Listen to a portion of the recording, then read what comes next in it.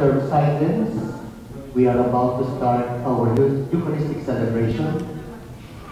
Today is the eighth Sunday in Ordinary Time. Also, we celebrate Sinulog in uh, this Tagalog and Filipino. So let us observe silence. The Lord is with us. This is a holy ground.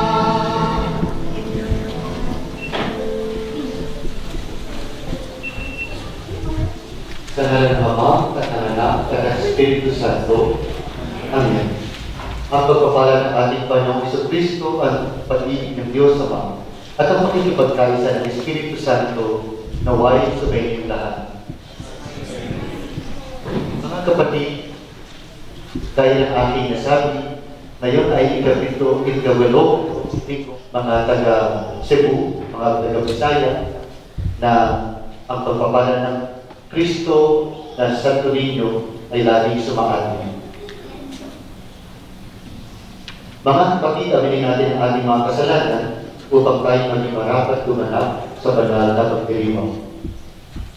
Inaamin ko sa makapangyarihang Diyos at sa inyo mga kapatid, na lumha ako nagkasala sa isip, sa salita at sa gawa at sa aking pagkukulang. Kaya sinasabi ko sa banal ng Virgin Maria sa lahat ng mga anghel at mga banal at sa mga kapatid na ako'y panalangin sa Panginoong ating Diyos. Kawaan tayo mga kapangyarihang Diyos, patawarin tayo sa ating mga kasalanan at patubayin tayo sa buhay na walang hanggan. Amen. Panginoon.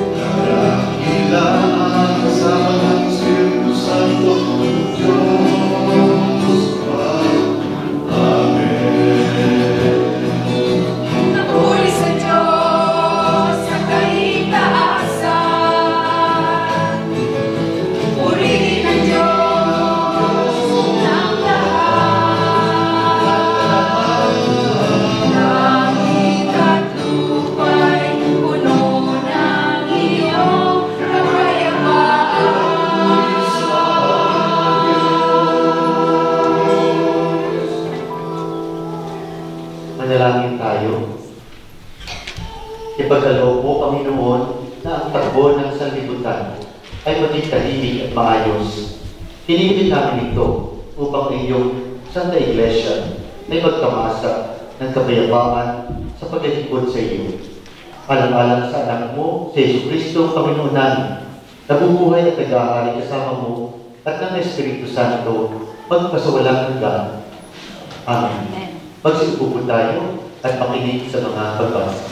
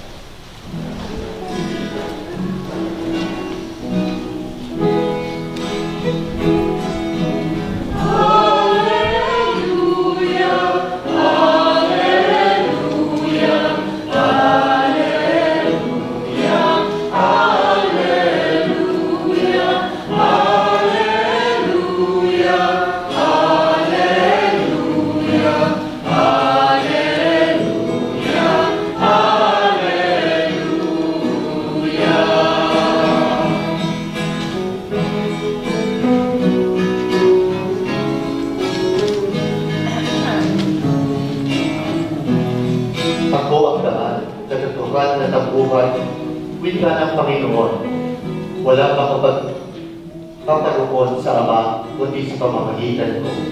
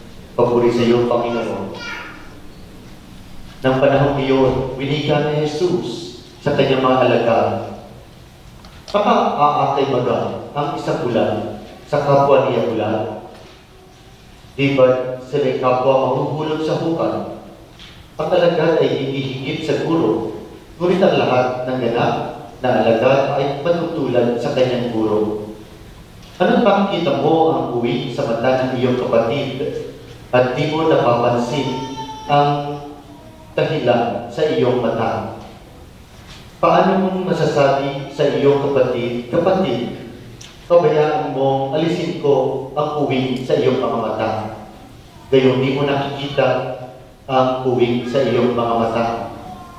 Mapagbalan kayo. Alisin mo muna ang dahilan o ang tubig sa iyong mata at saka liliwanag ang paningin mo upang makuha ang uwi sa mata ng iyong kapatid.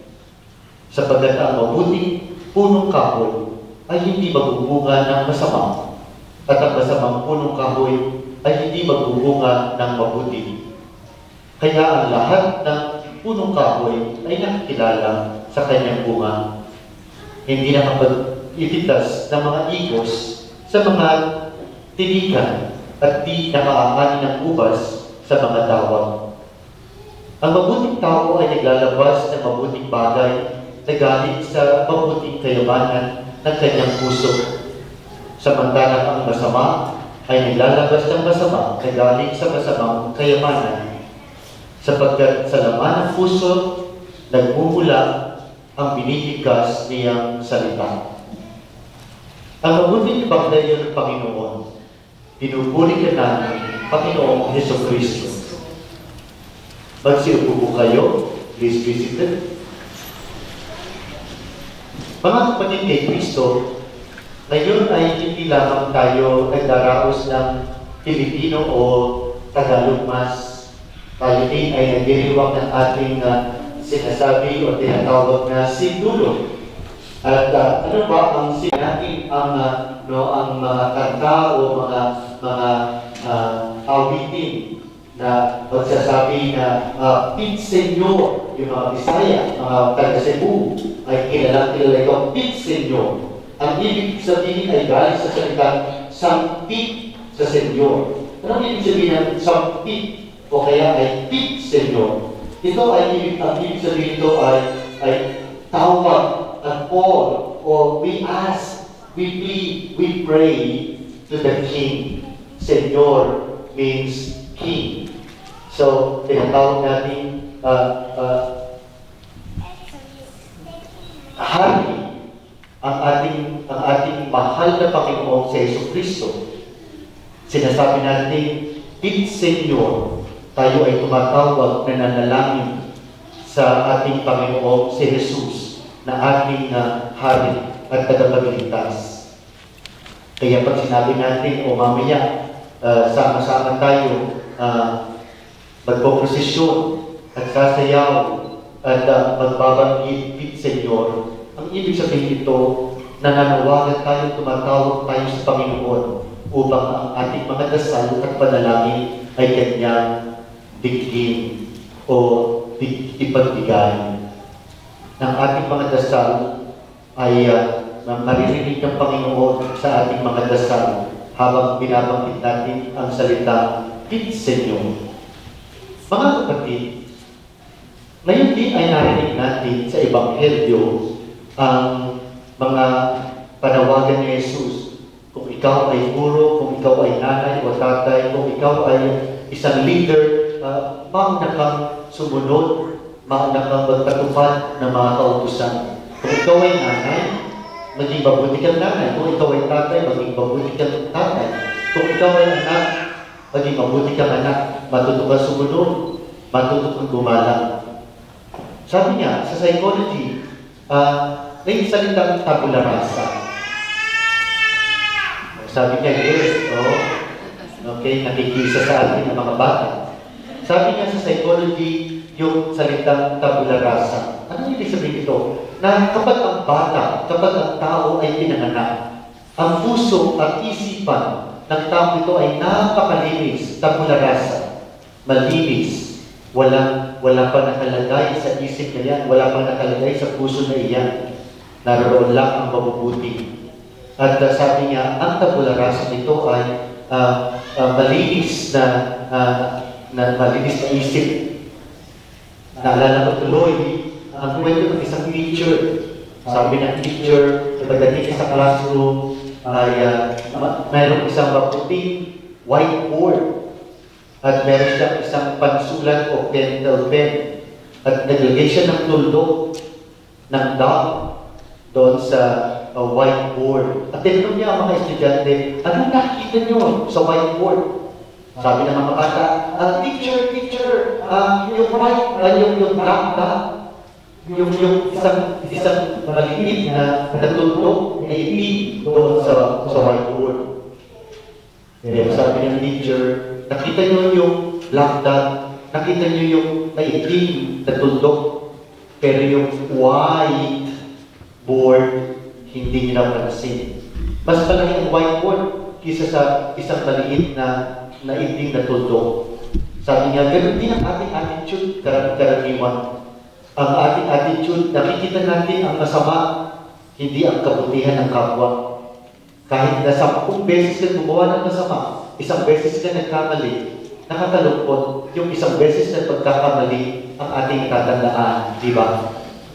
Ganun din sa mga magkakaibigan.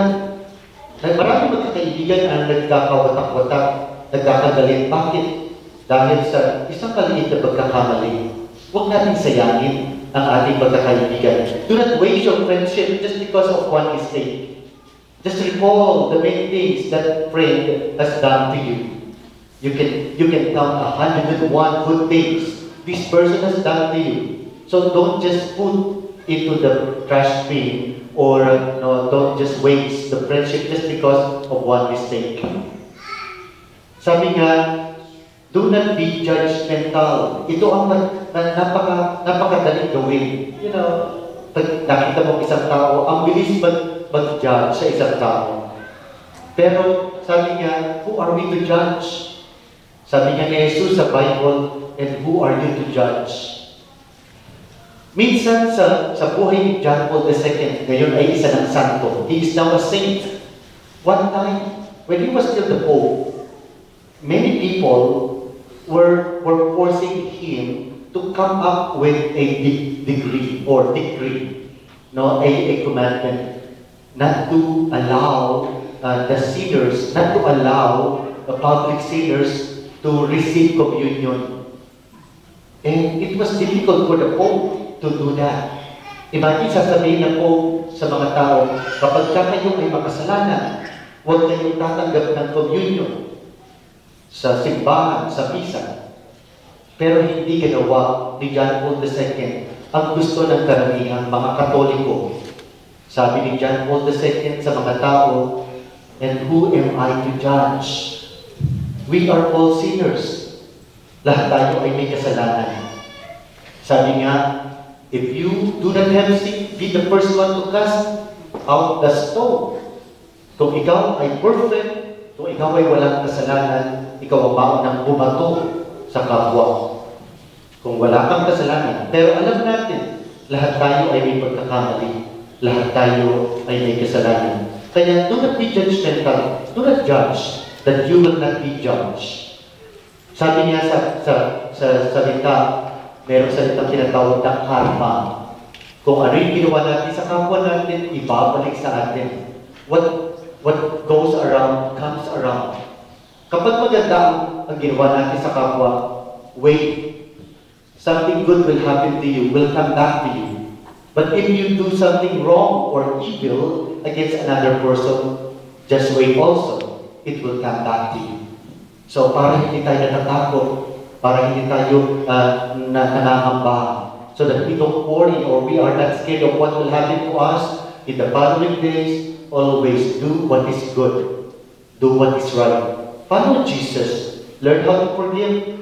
Learn how to, uh, uh, to love even the people that do, we do not know.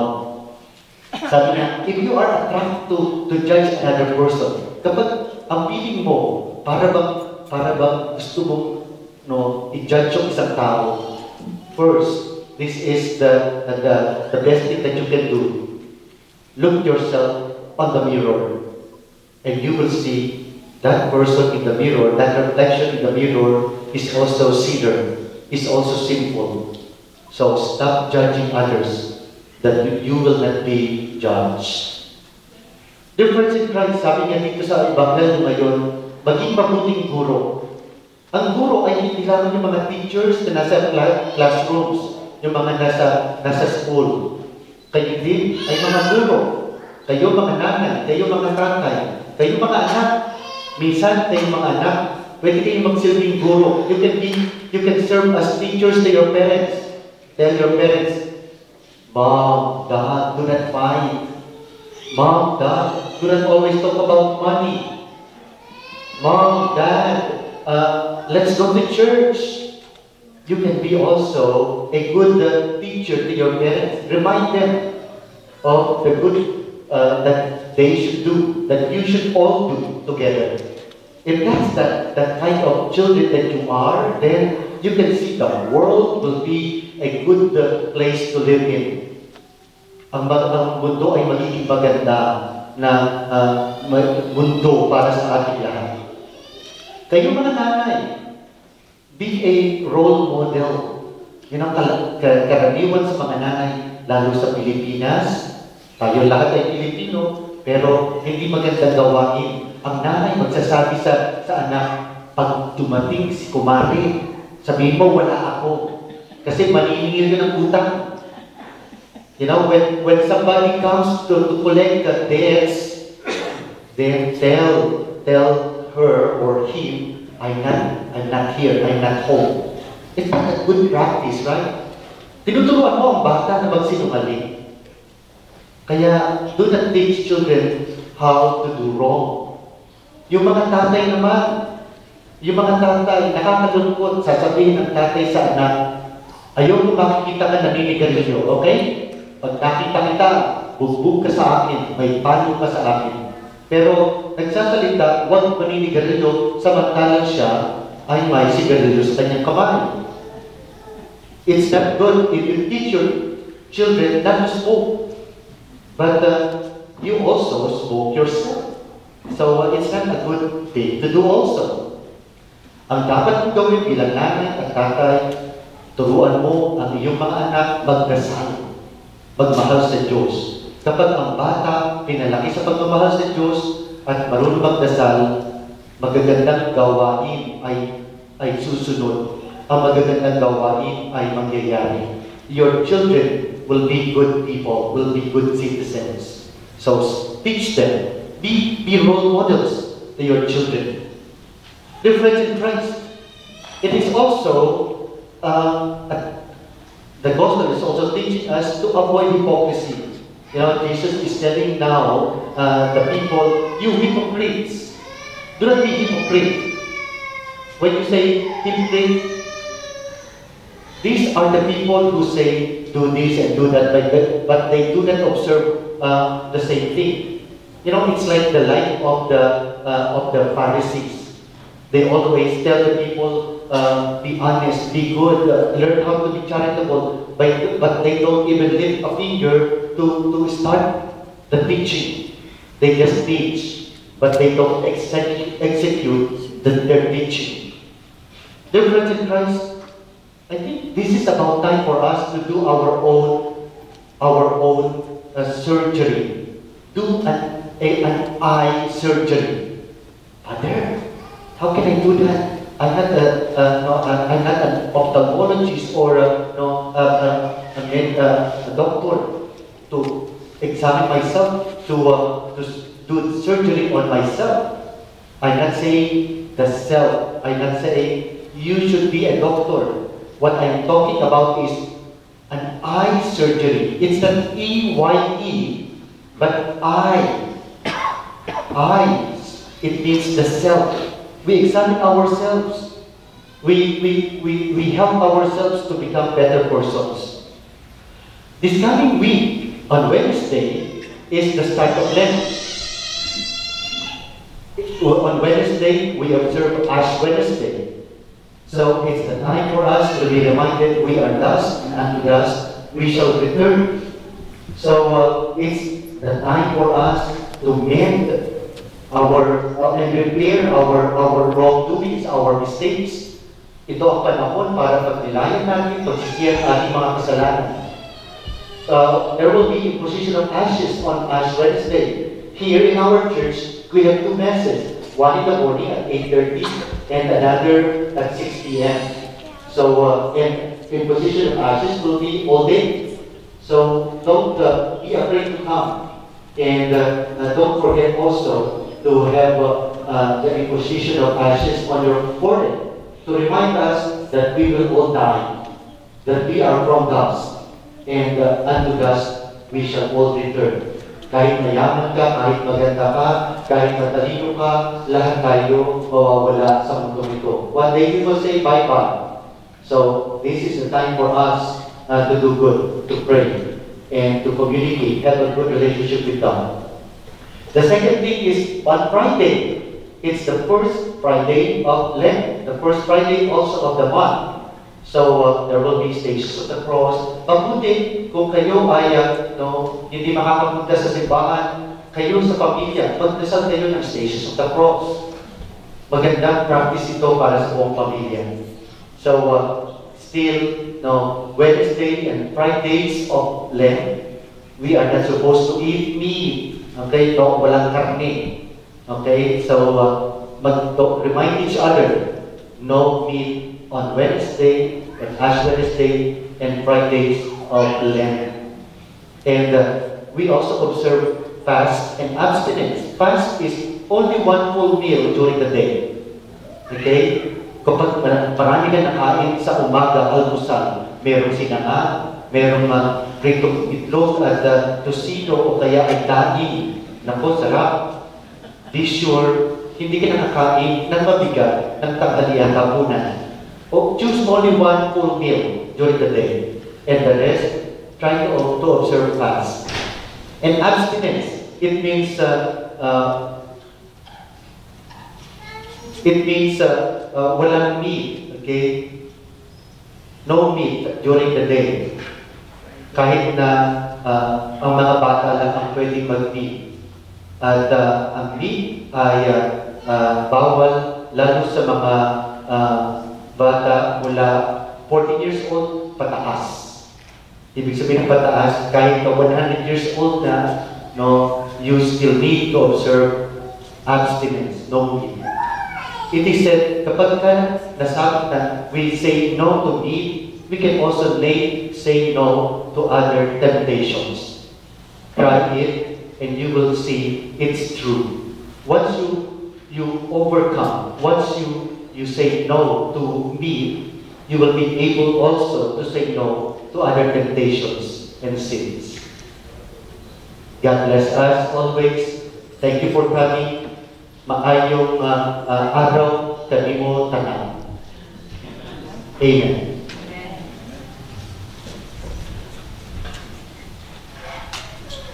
Let us all stand. Bilang isang pamilya, bilang, isang pamayanan, tayo ay nag, uh, nagdarasal ng sa Panginoon upang tayo ay patawarin sa ating mga kasalanan at uh, tingin ang ating mga dasal. Sa mga panalangin ng ating ikusugon, Panginoon, kaawaan mo kami. Para sa kapayapaan ng mundo, lalo sa Ukraine at sa Russia, sa China at sa Taiwan, manalangin tayo sa Panginoon. Para sa lahat ng pamilya sa buong mundo, lalo sa mga pamilya na nangangamba at uh, nanganganib sa Ukraine, manalangin tayo sa Panginoon.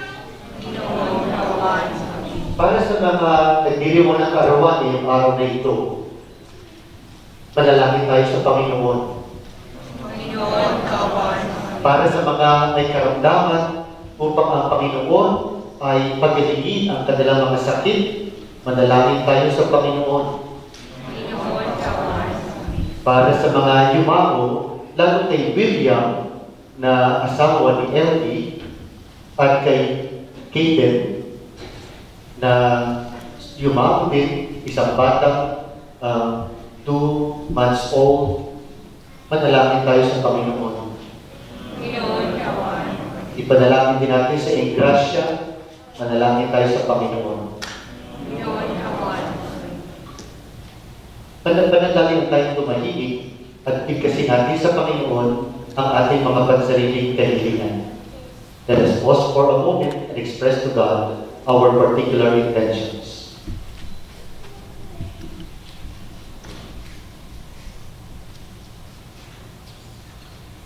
Para sa mga taga Cebu at sa Bisaya, sa kanilang pagdiriwang ng sinulog, ay uh, lagi silang pakinggan ng Panginoon at palakasin sa pananampalataya.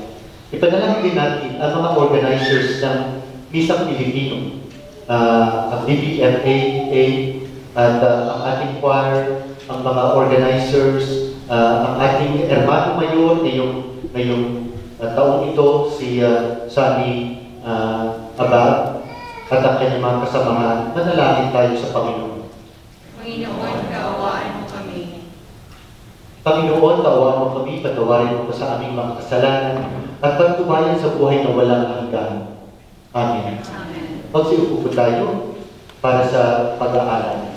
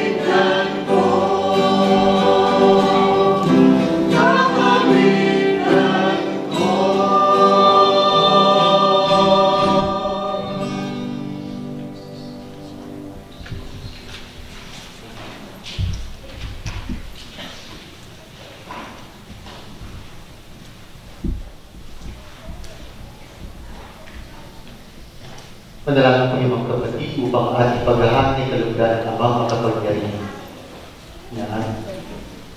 Pagsitayin po tayo lahat. O Ama, inaalay namin sa iyo ang handog na ito. Tanda ng aming pagmamahal at pagmamakaawa. Isinasama namin dito sa aming mga gawain at iisip upang makamtan ang katipan at walang hanggan. Alang-alang kay Kristo na aming Panginoon. Amen. So may inyo ang Panginoon. Itaas sa Diyos ang inyong puso at diwa. Sa. Pasalamatan natin ang Panginoong ating Diyos. Tunay niyang marapat at madumi ang buong at nakagagaling na magpasalamat kami lagi sa iyo, Amang Banal. Diyos na makapangyarihan at walang hanggan. Alang-alang kay Kristo, sa kanyang pagkatao, tinangisan niya ang pagkamatay ni Lazaro at sa kanyang pagka-Diyos ay binuhay na magmuli ito. Nagdalang awa sa sangkatauhan at binigyan kami ng panibagong buhay sa pamamagitan ng kanyang mga banal na misteryo. Sa pamamagitan niya, ang makapal na mga anghel ay sumasamba sa iyo at nagsasaya magpasawalang hanggan. Kasama nila kasama naman ang kanalangin ay nakagagalang. Santo.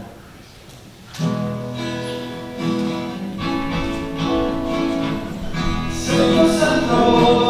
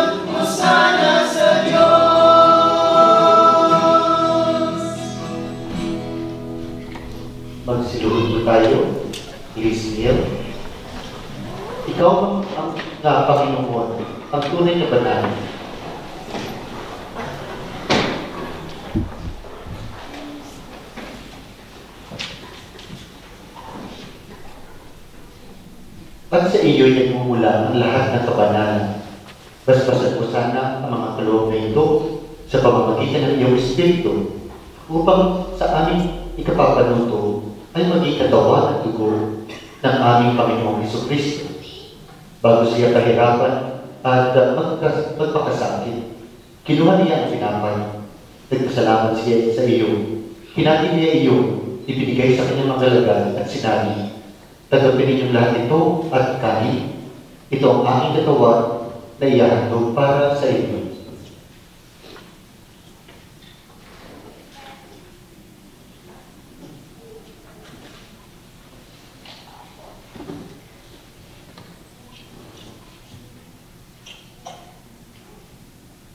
Gayun din naman, noong matapos sa kampunan, kinuha niya ang kalis.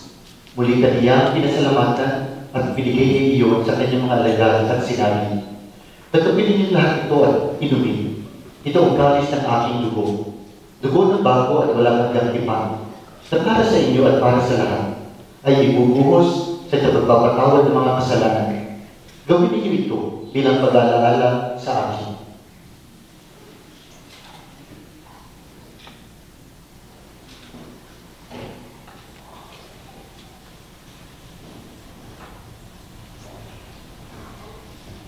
Ipaglunin ninyo ang misteryo ng pananampalataya.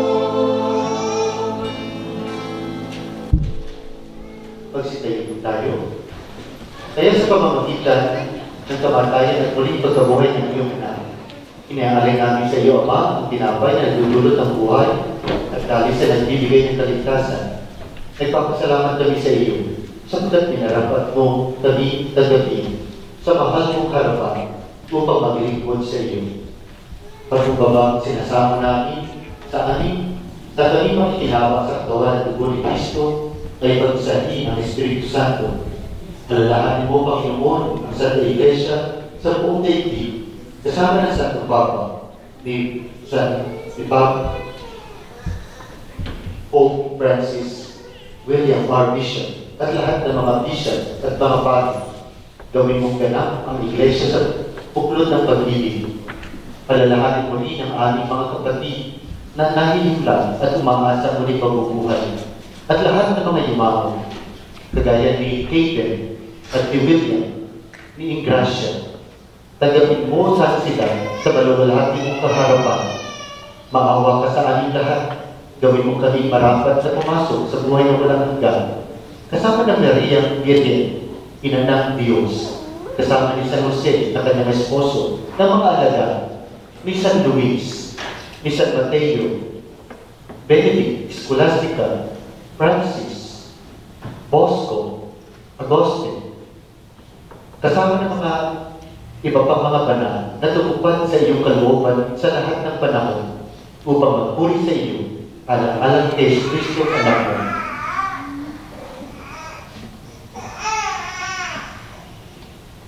Sa pamamagitan ni Kristo, kasama niya sa Kanya, ang lahat ng parangal at papuri ay sa iyo. Diyos ang makapangyarihan, kasama ng Espiritu Santo, magpasawalang hanggan.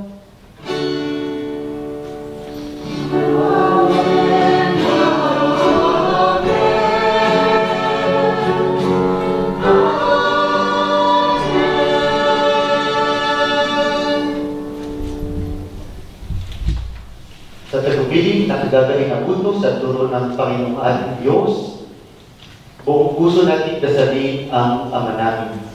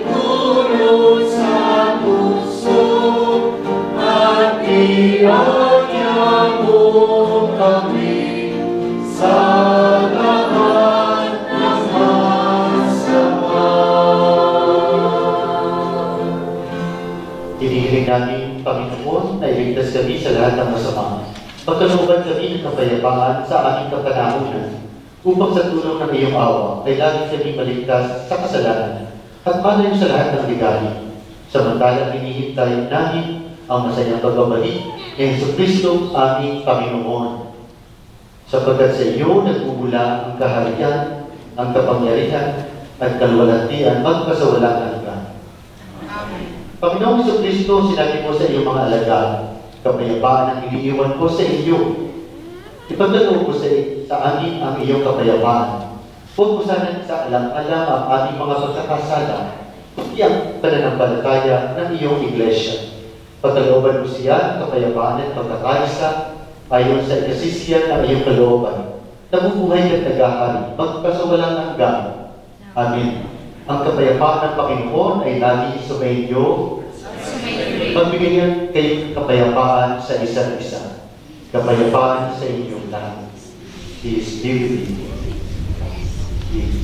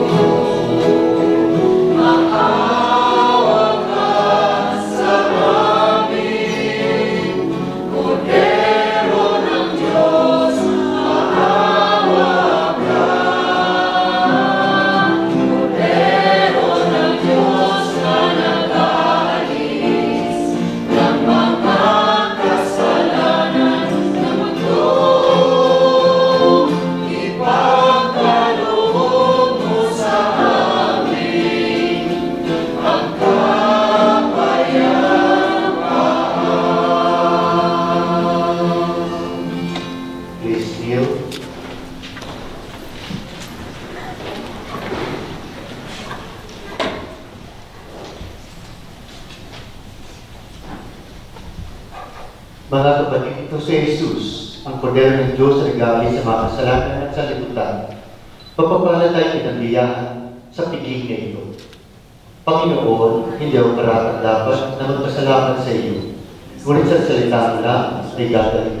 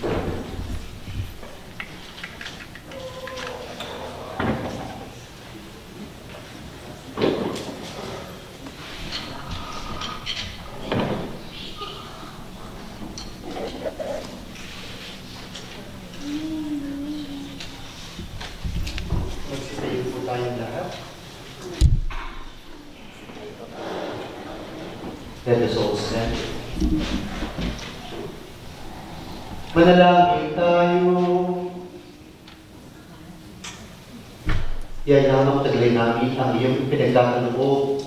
Nagsusumamo kaming gawin mo kasangkapan ang sakramentong ito ng buhay na wala hanggan. Alang-alang kay Kristo aming Panginoon. Amen.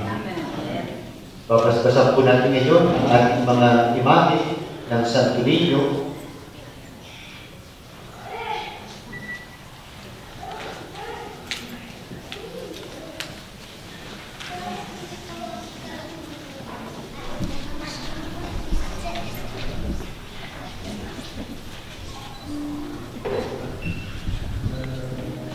Nanalangin tayo.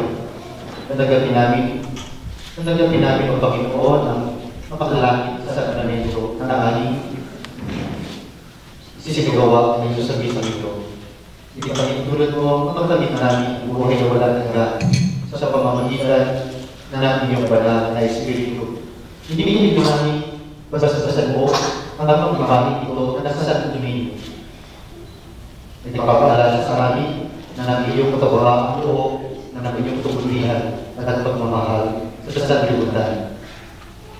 Nawa kami ay katulad na ng mga nakinig ito, makapagpatawad, makapagmahal, gumagalang, na nagbibigay. Kasasbasan mo, ang Panginoon, ang mga imahin ito, na nagpapaalala sa amin, na kami ay dapat maging nagbibis, uwalan, sa kapapatao. Ibigay namin ang Panginoon, kasasbasan mo, ang komunidad na ito, na ng mga Pilipino, na ng mga Amerikano, na ng aming mga kaibigan. Ibigay namin ito sa sakalan ni Jesus Cristo ang aming Panginoon. Amen.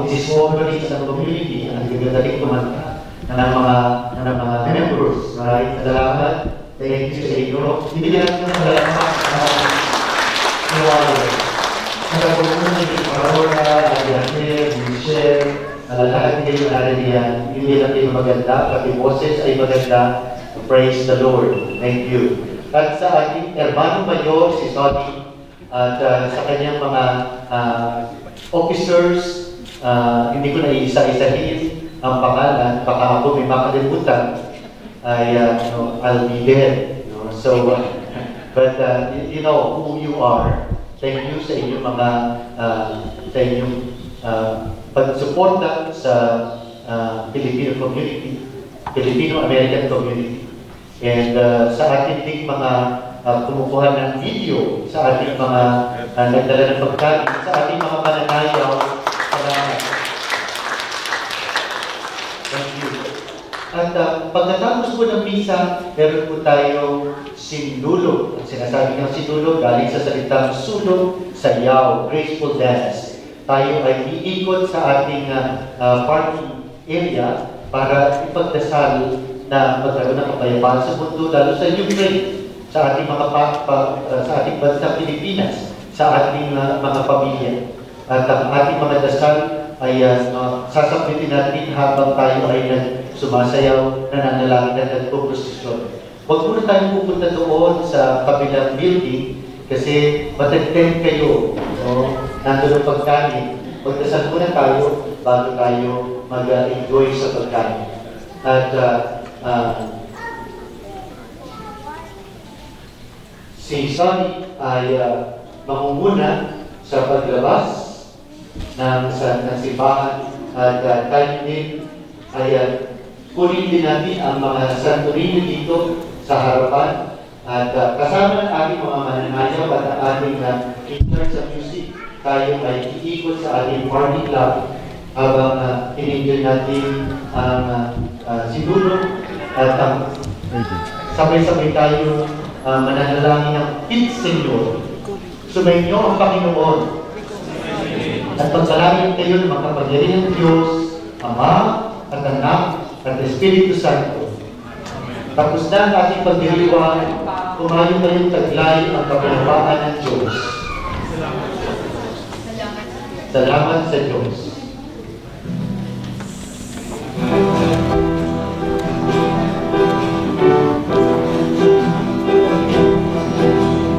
Viva, viva, Señor! Viva, Señor!